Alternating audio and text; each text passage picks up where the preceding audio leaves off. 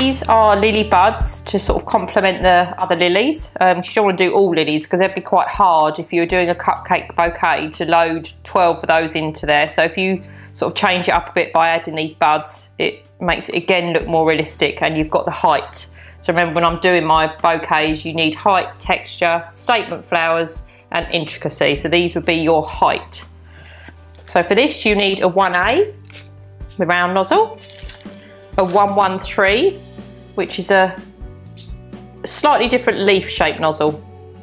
Now if you haven't got this and you can't get it, you could again use the 366.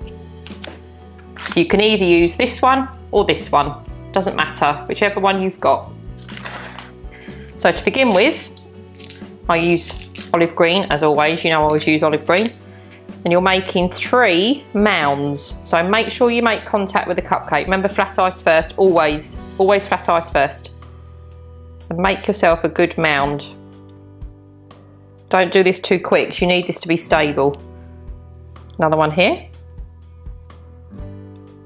As you can see, I'm slightly going off the side with them. And then one here. So we've got three there. So you've got three mounds. Then you take your 113 or your 366, whichever you're using. I've lined this bag with um, sugar in pink soda. So again, I've used neat colour. When I say neat, I mean I've literally squirted it from the bottle into the piping bag.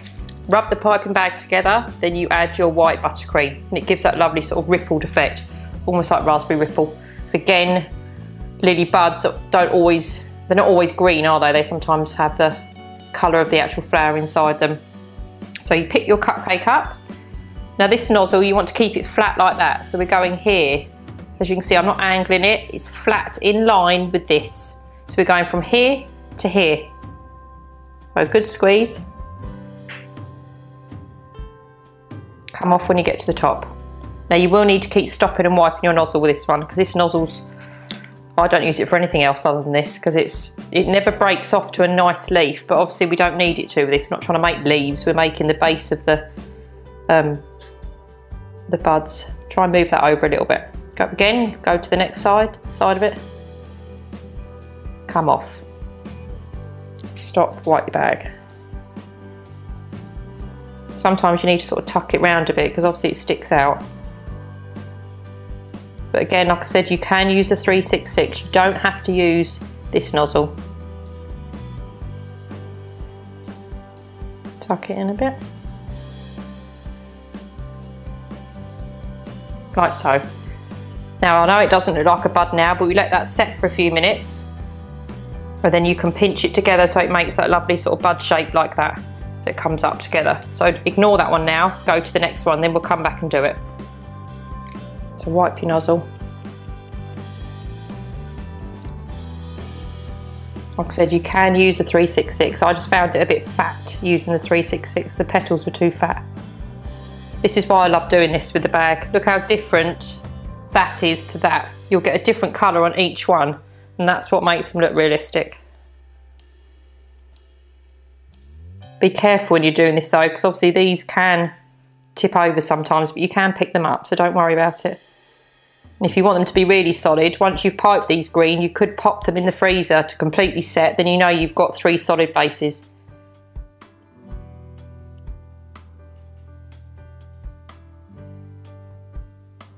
So I don't count doing this, I'll just do it till I get to the to the end. Right, so, so that's the second one.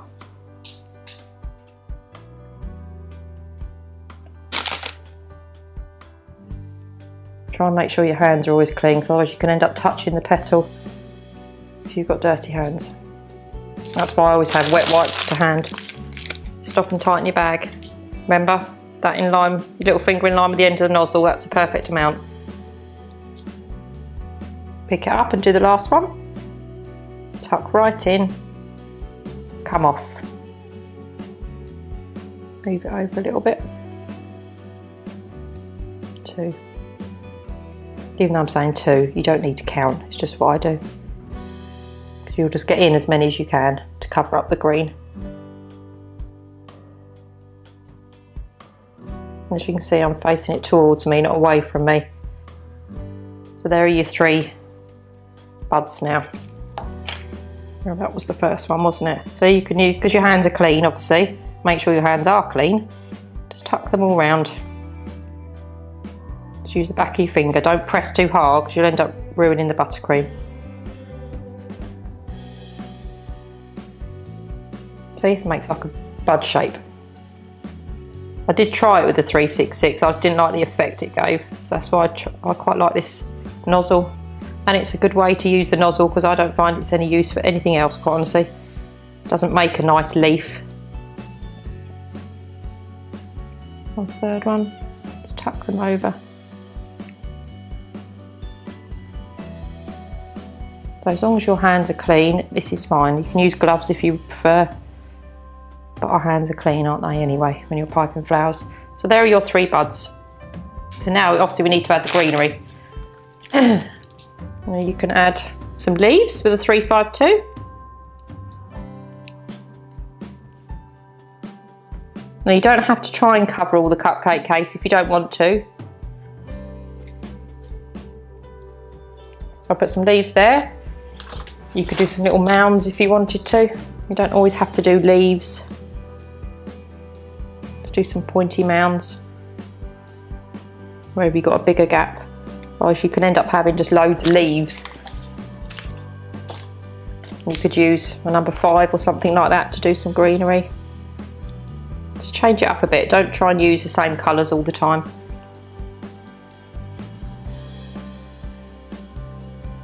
Makes it look different, doesn't it, by doing different things. Different shades, but all of this is Pro Gel Olive Green. Even though it looks different, this is the same colour. You can either just add more buttercream or whitener if you've got whitener. I use Wilton whitener. Go back to the leaves, pop some in. Remember the leaves, it's good squeeze, lift, come off.